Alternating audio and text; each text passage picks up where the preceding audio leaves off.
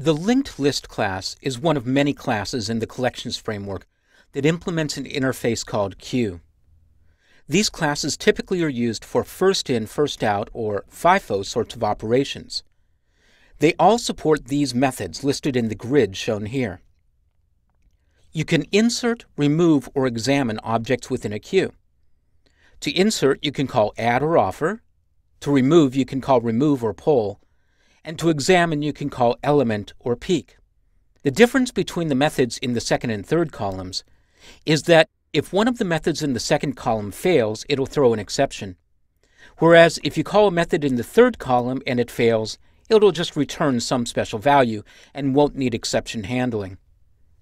I'm going to show you how to peek at an object and how to poll an object and show you that when you peek, you're getting a reference to the object but not removing it from the queue, but when you poll, you're both getting the reference and removing it from the queue at the same time. And to demonstrate this, I'll use the linked list class, which I've shown in a previous video. In this version of my project, I've added four instances of various olive objects to the queue.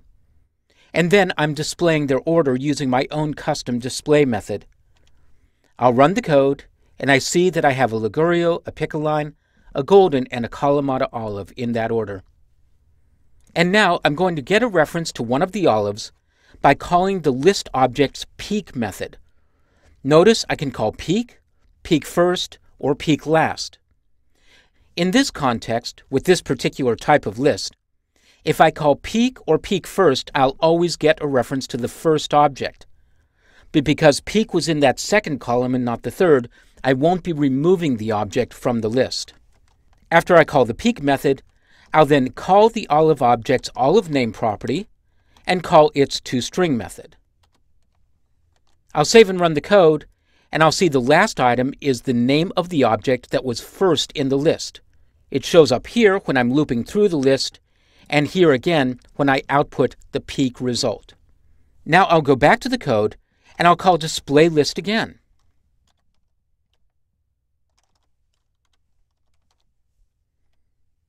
And I'll see that I'm peeking at Ligurio, but after I call the peek method, all of the objects are still on the list. Now I'll go back to my code, and this time, instead of calling peek, I'll call poll. The poll method both returns a reference to the object and removes it from the list. And again, just like peek, you can call poll, poll first, or poll last. For the linked list, poll first and poll will do the same thing. I'll run my code again, and now I see that the first time through the list, I output the four olives, then I output the name of the olive that I polled, and then when I run the list again, I only have three objects. The object that was added in the first position of the list, known as the head of the list, has been removed, and it's been returned at the same time. So you can call the peek and poll methods and all of the other associated methods of the queue interface from any of these classes that implement the interface. You'll find a list of all the classes that implement the queue interface here. You'll find synchronous queues, priority queues, priority blocking queues, and others called DQ, which is normally pronounced DEC. Explore the API documentation for all of these classes to find out all the different ways that you can manage your collections.